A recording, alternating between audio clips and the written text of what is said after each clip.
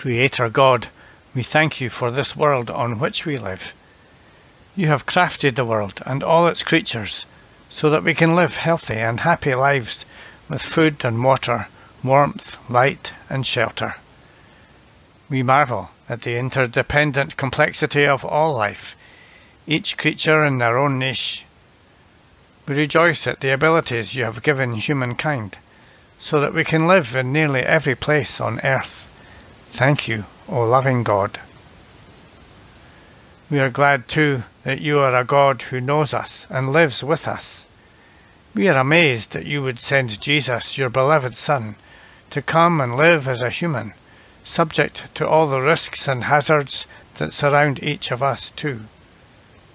You know the pains of life and of death.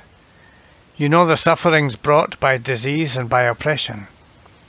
You lived through it all and came through life triumphant and victorious over evil and death itself. We worship you, O God.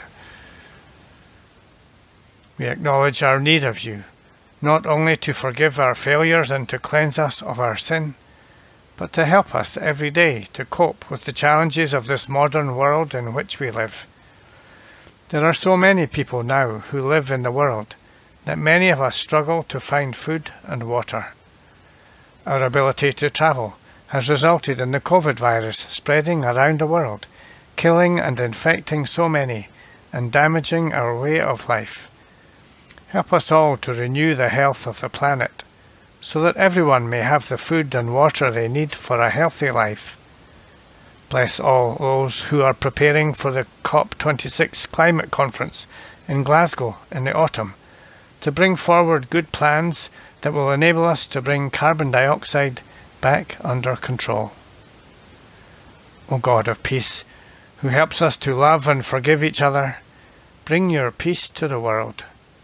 Help those involved in violence and war to realize the futility of violence and to turn aside to more fruitful ways of living. Send your spirit of peace to bring peace, especially in places such as Afghanistan and Syria and Yemen.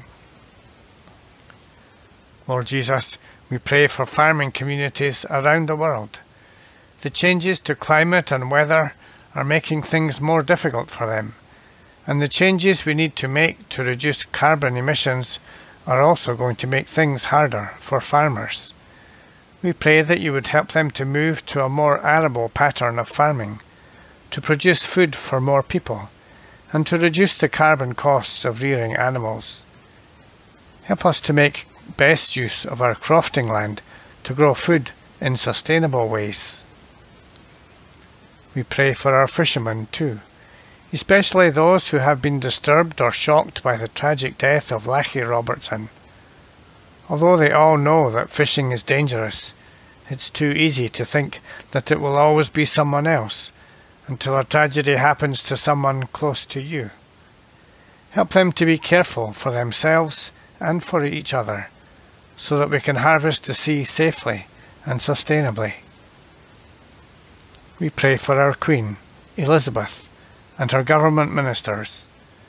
As we continue to rebuild our economy while learning to live with the COVID virus and other diseases, we ask you, O God, to help everyone involved in making decisions to be honest and wise and compassionate. Help our leaders to care for those whose lives are most difficult, such as the poor, the sick, the disabled, so that everyone is able to live well in our country.